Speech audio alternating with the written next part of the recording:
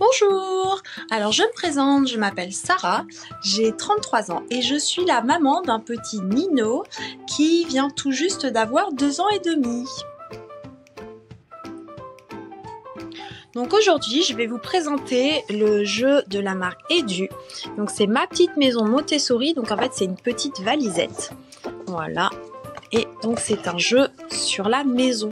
Donc à l'intérieur de la boîte, on a les différentes pièces de la maison et également une petite notice. Voilà, donc hop, on a tous les cartons à l'intérieur pour constituer la maison et pouvoir jouer. Donc voilà, le jeu se présente comme ça. Donc en fait, c'est des plateaux. Moi, je les ai mis comme ça, mais vous pouvez les mettre vraiment comme vous voulez. Et donc, on va voir toutes les pièces de la maison. Donc le salon, la chambre, le balcon, le garage, la salle de bain et la cuisine. Et en fait, sur chaque petite palette, on va avoir des petits euh, cartons comme ça que l'on va mettre au bon endroit.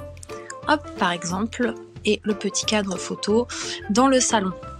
Voilà, donc comme ça, l'enfant, en fait, ça lui permet un petit peu de reconnaître les différents objets familiers qu'on a tous dans notre maison. Voilà, hein. on a tous euh, une casserole, une bouteille d'eau, euh, voilà, un coussin, une lampe. Donc comme ça, il va pouvoir euh, reconnaître les pièces et pouvoir former également sa propre maison. Donc jouer tout en apprenant.